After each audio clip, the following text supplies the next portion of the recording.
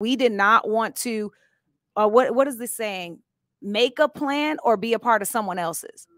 So we decided we wanted to make our own plan. So when we have someone that comes in and speaks to us, uh, uh, uh, especially a male, it's like, what do you want?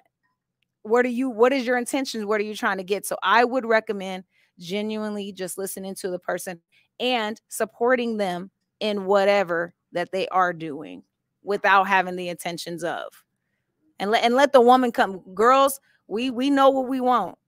Let the girls come after you. You're a handsome guy, so you ain't gonna have no problems, okay? So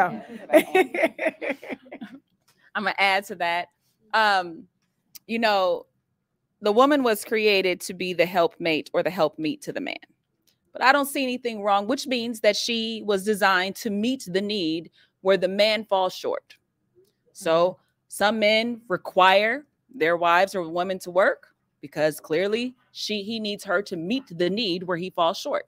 Some men require women to not work because that need of whatever he needs her to be is met in the kitchen or whatever, you know. The same should and and I want you to take that application and and twist it for yourself as a man.